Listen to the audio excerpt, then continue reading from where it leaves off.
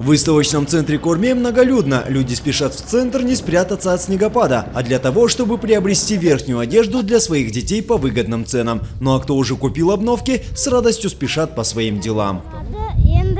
Мне сегодня мама купила новую куртку и ботинки. Цены доступные, товар хороший. Спасибо властям за оказанную материальную помощь в канун Нового года и за то, что организовали такую ярмарку. Мне удалось купить все необходимое для своего ребенка.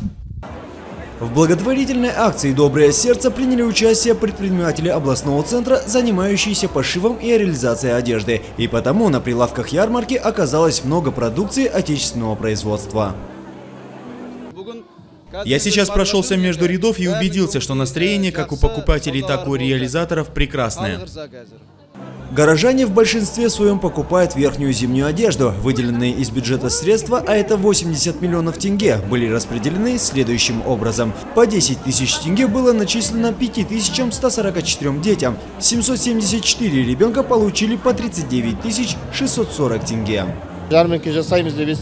Узнав об акции «Доброе сердце», предприниматели города изъявили желание принять в ней участие. Многие из них предложили оказать спонсорскую помощь в виде снижения цен на 15-20% по сравнению с рыночной.